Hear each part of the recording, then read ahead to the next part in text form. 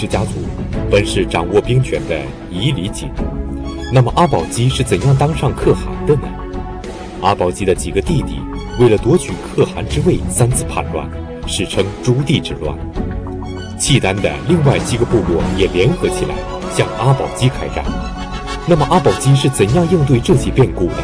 又是如何通过延迟之变，兵不血刃地统一了整个契丹民族？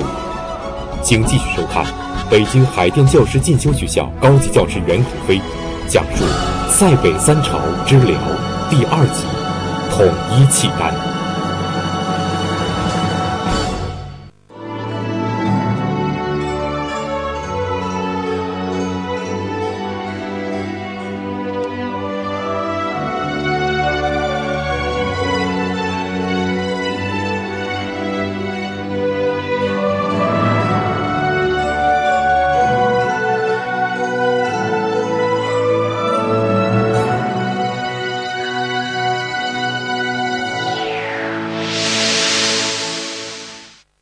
百家讲坛由舍得酒业特约播映。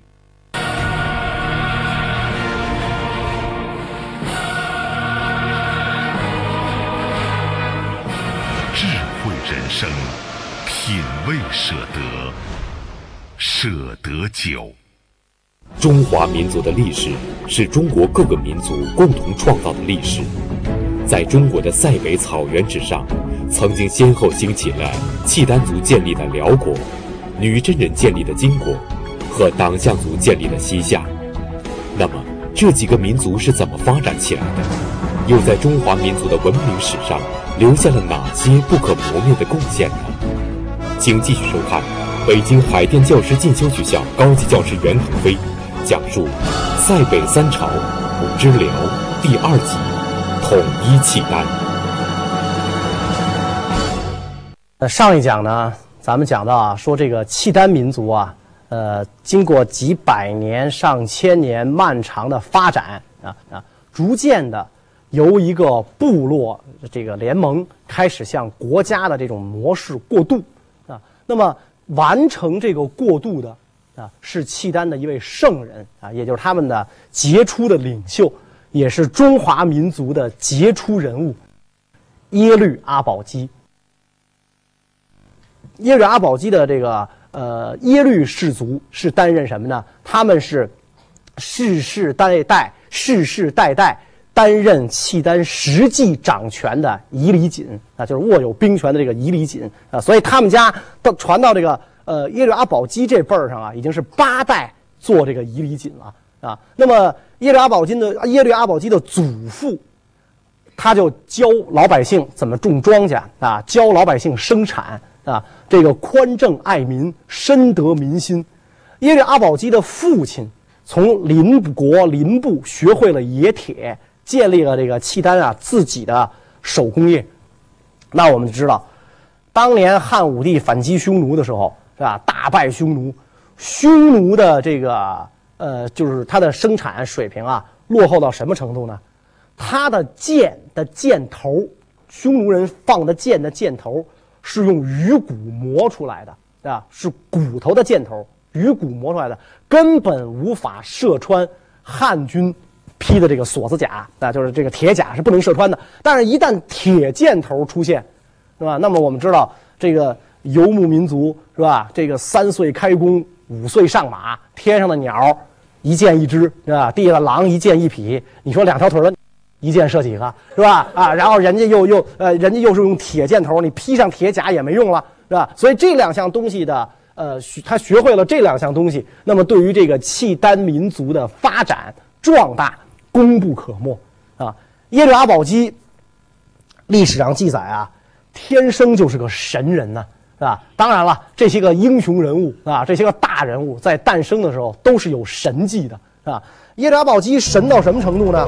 根据《辽史太祖本纪》的记载，初母梦日堕怀中，有臣即生，世有神光异香，体如三岁儿，即能匍匐，常匿于别墓，涂其面，不令他人见。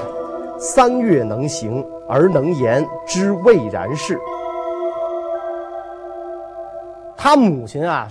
这是梦见了太阳怀孕生下了他，啊？那就说这个阿保机是太阳神呐、是吧？哎，梦到了太阳，所以因为本身这个我们说契丹人是有东向拜日的这个传统的，是吧？他拜日就拜崇拜的就是太阳，现在太阳降生了，落到我们这个部落里来了，当然要担任起领导我们这个部落的大任了啊！所以他是母亲梦到太阳入怀而有孕，生下了阿保机。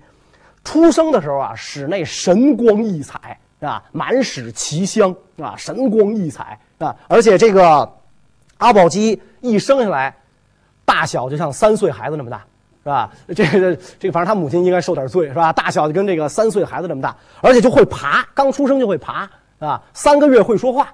是吧？这个三个月能说话是吧？如可惜当时是呃没有什么医学鉴定研究是吧？否则的话，这是一个很呃在在人类发展的历史上，这是一个很特殊的一个一个一个人才是吧？能说话，而且呢，从小他就能预卜未来，是吧？他就会知道他将来怎么样啊。因此，这个全部落呀都奉这个阿保机为神。有人崇拜他，自然就有人嫉妒他。是吧？就说，这个他们家世世代代担任这个仪礼锦，那肯定有人妒忌啊！凭什么你们家老掌握军权，是吧？现在你们家要生一神，生一小太阳，是吧？所以就有人要害这个阿保机，啊！所以这个阿保机的祖母啊，就是说不承认说这个有这个孩子，没有，我们家没生过这个孩子，是吧？把他呢养在这个帐篷之中，不许示人。啊，就是不让人看，藏在帐篷里不让人看，对吧？直到这个呃，而且还拿墨呀把他脸涂黑啊，把他脸给涂黑，是吧？所以直到这个阿保机啊，长到长大以后啊，才让他这个示人啊。阿保机，你想生下来就有这样的神意，长大了之后更不得了啊！长大之后更不得了，呃，不得了什么什么程度呢？史籍记载啊，阿保机成人之后，身长九尺。峰上锐下，目光炯炯，力大无比，开三百弹强弓啊，能拉开这个三百弹强弓，精于骑射，武艺高强，身长九尺，是吧？呃，不知道这个辽金时代、辽辽宋时代一尺和现在多少？我觉得应该比现在短啊，否则的话两两米六，对吧？已经超过姚明了，是吧？身身长九尺，而且呢，这个峰上锐下，目光炯炯，力大无比，开三百弹强弓啊，能拉开这个三百弹强弓，精于骑射，武艺高强。当时的这个阿保机的伯父世鲁，担任这个部落呀，这整个这个部落当中的逾越，逾越肯定是契丹语了。汉文书籍里写写作总之军国事啊，总之军国事应该相当于中原王朝的宰相啊，应该相当于中原王朝的宰相。后来这个辽建立之后，于越成为辽国大臣最高的头衔。有辽一代，整个辽二百一十年担任逾越的只有三个人啊，就就是获得过这个头衔的只有三个人，是吧？等于位在群臣之上，是吧？所以当时这个部落里的这个逾越呢，就等于他的地位啊，比仪礼锦还要高啊，还要高。呃，阿保机的伯父就是这个逾越，是吧？那么阿保机的伯父看那个阿保机啊。那是打心眼里喜欢，越看越高兴啊！说说我我家千里驹啊，将来我们这个部落的振兴啊，我们这个民族的发展壮大，全在此子身上啊！对他疼爱有加，精心教养。然后这个阿保机和自己的堂弟耶律和鲁两个人的关系非常好啊，亲若手足啊，两个人几乎同岁，亲若手足，同吃同住啊。后来这个呃，耶律和鲁成为。阿保机帐下的头号大谋士，啊，也是契丹建国之后的第一位逾越，是吧？两个人经常联手作战。有一次呢，这个契丹人啊，对外去讨伐这个侍卫啊，这个侍卫啊，就是古蒙古人啊，去讨伐他们。这个侍卫民族啊，也是出自这个东胡系统，呃，出自这个鲜卑部。其实跟这个呃契丹民族应该说是呃有同源啊，出于同源，所以契丹民族讨伐他。讨伐这个侍卫，当时呢，阿保机率千余精骑进攻这个侍卫，包围了侍卫人的营帐之后，完颜和鲁啊，这个耶律和鲁呢，就跟阿保机讲啊，说咱们啊，最好能够做到啊，用《孙子兵法》，咱们汉人的《孙子兵法》上讲，就是不战而屈人之兵，是吧？咱没必要打，打的话呢，动刀兵啊，杀人一千，自损八百，咱们划不上啊。说这样。你领兵施加压力，我单骑进帐劝侍卫投降啊。阿保机说可以啊，这个这个，因为这个呃，荷鲁是永远以这个。